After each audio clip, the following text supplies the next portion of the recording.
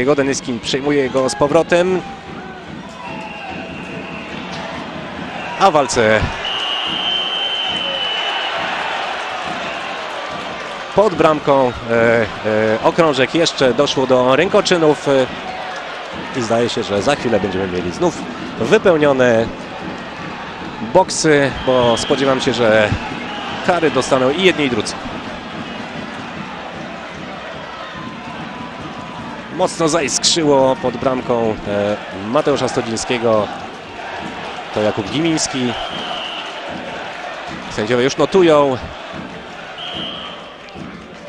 numery zawodników i spodziewam się, że nawet na dwóch karach się nie skończy, że tych zawodników karanych będzie więcej.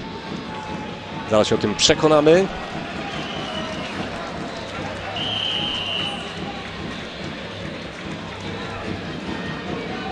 Jeszcze chwila na uspokojenie, bo też e,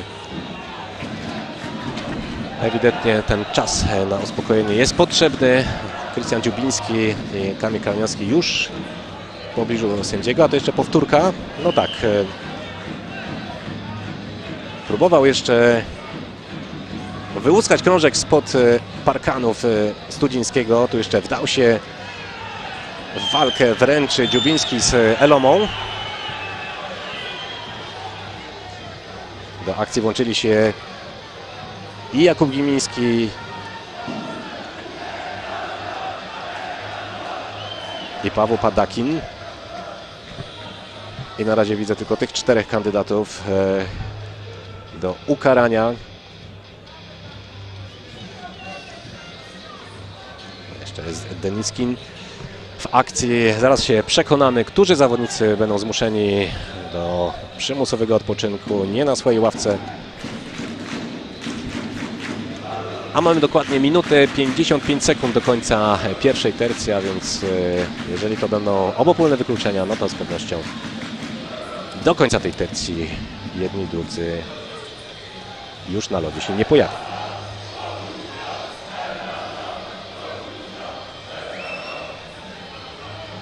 Krystian Dziubiński, Kalinowski jako kapitanowie obu drużyn czekają na ogłoszenie wyroku, bo tak to można nazwać. Decyzje, jakie podejmą za chwilę sędziowie.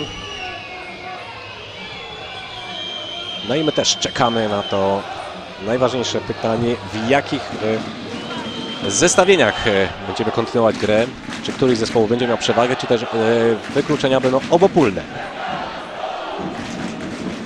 Przypomnę, to trzeci mecz e, ćwierćfinałowej fazy rundy playoff sezonu 2022-2023. Trzeci mecz pomiędzy zespołami Tarun Replas Unia Oświęcim i KH Toruń. Pierwsze dwa w Oświęcimiu wygrali e, Unici i to w sposób przekonujący 5 do 0 i 4 do 0.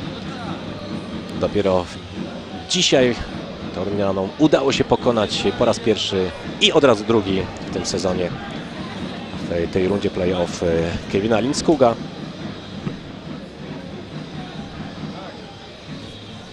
Paweł Padakin na ekranach. Na razie najskuteczniejszy zawodnik e, Unia Święcim w fazie playoff. Na ławce kar udaje się już e, Andrii Deniskin. Ale drzwi boksu cały czas są jeszcze otwarte, a więc można się spodziewać, że to nie koniec wykluczeń.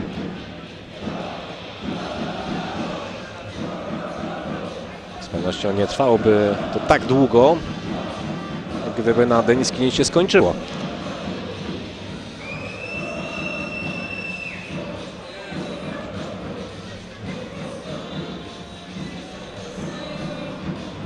No czekamy, czekamy. Zawodnicy przy własnych boksach.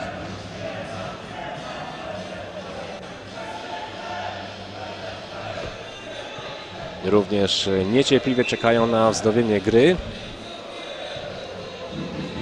Jakub Gimiński już udaje się na ławkę kara, więc ci, którzy brali udział. No i chyba, ponieważ drzwi boksu kar zostały zamknięte i z jednej i z drugiej strony, chyba na tym się skończy. Upiekło się i Elomie,